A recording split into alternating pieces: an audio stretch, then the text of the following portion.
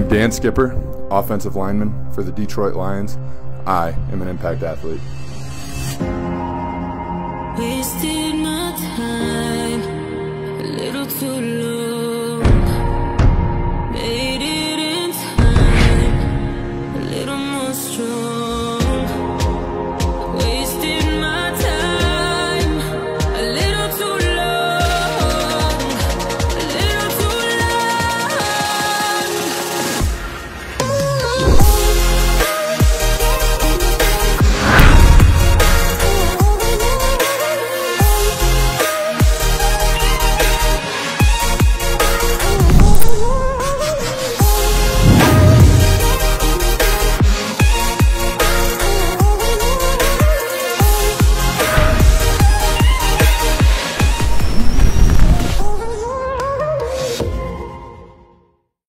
Hi, my name is Tim Naiman. I'm the Director of Sports Performance here at Impact Sports.